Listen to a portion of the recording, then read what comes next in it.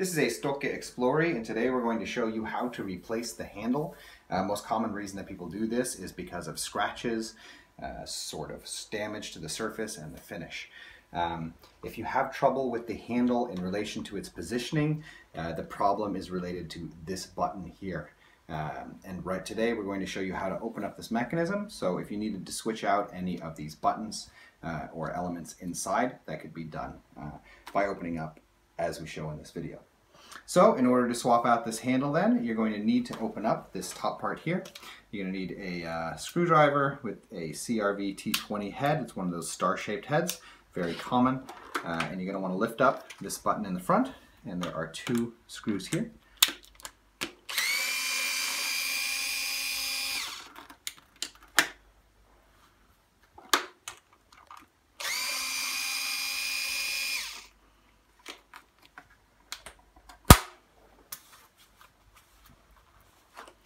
You can slide this up.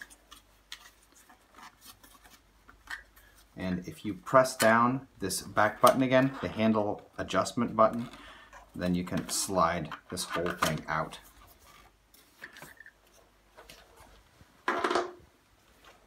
Okay, turn the handle up so you can see down inside.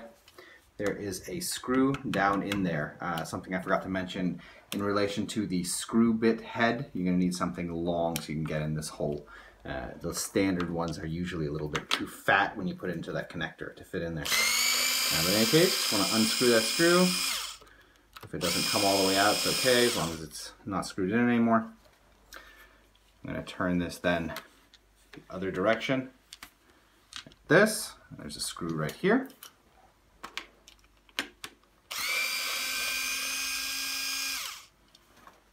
And then this handle comes apart in two pieces. You can just pull it out like this. Get your replacement handle. I'll just get this screw out first so that I have it. Okay.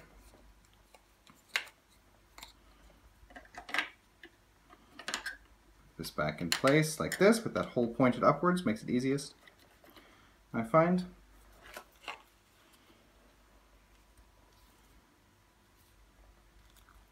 One moment, yes, that's correct. And then you can just slide it in. Now, of course, anytime you're opening up mechanisms of this sort, it's not a bad idea to lubricate a bit inside.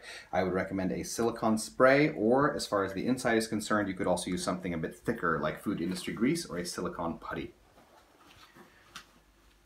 but at least silicone spray. It's a good idea whenever you're opening something like this up again.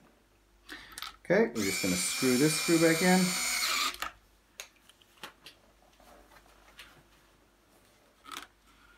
Fold this over.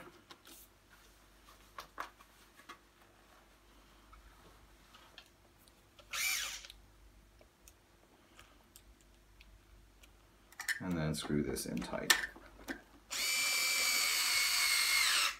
If you found it difficult to fit the two halves of this into the middle here, it likely means that this piece was uh, turned the opposite direction.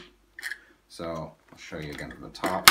You see this hole sits a little bit off center. If that hole is backwards, it means it's backwards. Uh, so don't just keep trying to force it. Make sure that everything is put in correctly. And of course, the hole for the screw on the back side of the handle goes downwards. Now when you're replacing the top panel here, I just want to note that the positioning of the front trigger or front button is a little bit fiddly. Uh, it functions a lot easier on the newer models, but on the older models it can be a little bit fiddly. So uh, this trigger on the back side has these two slots and there's this pole that pops out, uh, runs down the length of that uh, arm. And you're going to need to slide the two pins on the sides of that pole into those slots.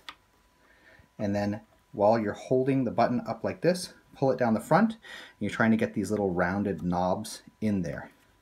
Okay, that's the idea, but you don't need to do that now. I'm just showing you ahead because it's going to be hard to see afterwards. What you're going to want to start with is the back panel itself.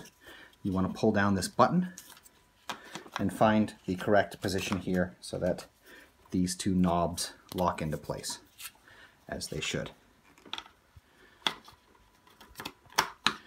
Go. And then pull it down so you can see how it's supposed to go. Yeah. Pull it slightly up.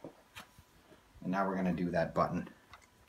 So pull it in, pull the trigger up a little bit, pull it down and find the position. If that pull pops out, you have to reposition that button. And during the whole part of the process, until you have it screwed in tight, uh, it is possible that that pull can pop out, or at least until you have this top panel pressed down tightly. So you want to keep an eye on it, make sure it doesn't pop off. While you're holding it in place, you can then find a position whereby you can slide that panel down. And then the whole thing just sort of pushes down together. It's slid off.